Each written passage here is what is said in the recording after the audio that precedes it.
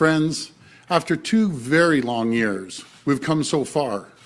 Because of the sacrifices made by Ontarians and the amazing care provided by our healthcare heroes, we've been able to safely and cautiously reopen our province. Now, looking ahead, we want to ensure Ontario is better prepared for the future.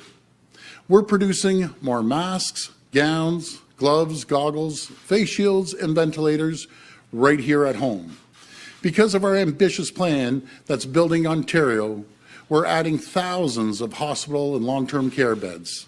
With the support of our government's historic funding, cities and towns all over Ontario are attracting more doctors, nurses, and personal support workers to care for patients. But we can do more to build a stronger, more resilient health system.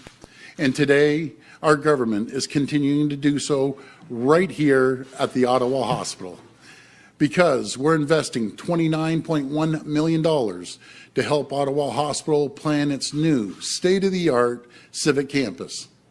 This is one of the largest planning grants in Ontario's history and will ensure the Ottawa Hospital will continue to meet the needs of this growing community for generations to come. And it will dramatically improve the quality of health care that this community receives. This is something that has been desperately needed for decades, and we're proud to deliver for the people of Ottawa. Folks, a lot of people have talked about this project, but we're the ones that will get it done. And the new Civic Campus will include a cutting-edge trauma center, a larger emergency department, an updated surgical suite, and over 300 new beds, including acute care and a new rehabilitation center so that the patients can get the care they need close to home. Construction on this vital project will start in 2024 and is all part of our government's mission to end hallway health care once and for all, and to ensure that Ontarians can get the care they need when they need it, regardless of where they live. Today's investment is part of our $30 billion commitment to modernize and expand Ontario's healthcare infrastructure over the next 10 years. These are not band-aid solutions. We're getting shovels in the ground and investing for a stronger future for generations to come.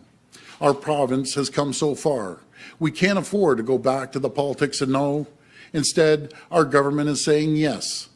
Yes to building modern hospitals, Yes to investing in our communities. And yes to building a stronger, more resilient province. Friends, let's say yes to the better and brighter future that the people of Ontario deserve. I want to thank you and God bless.